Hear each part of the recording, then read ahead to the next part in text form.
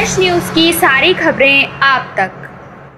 15 अगस्त के अवसर पर डीसीपी आर सातिया सुंदरम ने गीता कॉलोनी के यमुना खादर में लिया सुरक्षा व्यवस्था का जायजा। सोमवार की सुबह सहादरा जिला के डीसीपी आर सातिया सुंदरम पहुँचे और नाव में बैठकर सुरक्षा व्यवस्था का जायजा लिया, जहाँ पर सहादरा जिला के एडिशनल डीसीपी कुशलपाल सिंह भी साथ में रहे। इसके अलावा गीता कॉलोनी थाने के एसएचओ संजय भट्ट भी रहे और एसीपी ऑपरेशन महेंद्र भी डीसीपी के साथ रहे। जहाँ डीसीपी ने मीडिया से बात करते बताया कि 15 अगस्त के अवसर पर सुरक्षा व्यवस्था का जायजा लिया जा रहा है। क्या कुछ कह रहे हैं? सुने आप बाइट। हमने आज सुबह से शुरू किए हैं। गीता कॉलोनी का पुल, पुस्ता गांधीनगर लोगित का पुल, फिर अप्सरा बॉर्डर, ये पूरा हम चेक किए हमारा अरेंजमेंट है।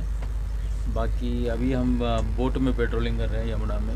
ये गीता कॉलोनी पुल से लोगित का पुल, कम से कम डेढ़ दो किलोमीटर का दूर है।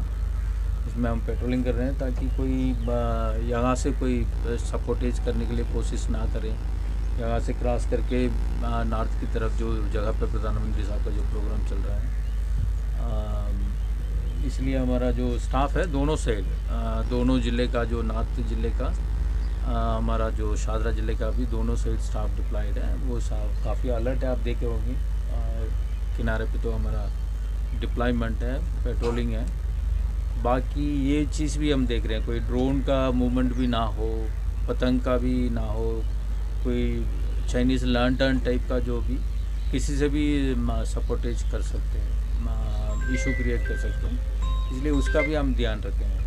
बाकी बाइनाकुलर का रूफ टॉप का चेकिंग भी है किनारे में जो जितने भी ऊँचा ऊँचा बिल्डिंग है वहाँ से रूफ टॉप का वॉच भी रखे हैं। आ, बाकी बॉर्डर भी है सीमापुरी बॉर्डर है बॉर्डर है तो हाँ वहाँ पर भी तो हमारा जो आर्म्स डिप्लॉयमेंट भी है पिकेट चेकिंग भी है। मोर्चा भी बना के वहाँ चेक कर रहे हैं। हर गाड़ी को चेक कर रहे हैं। बाकी बिना परमिशन बिना वैलिड किसी गाड़ी को भी जाने नहीं।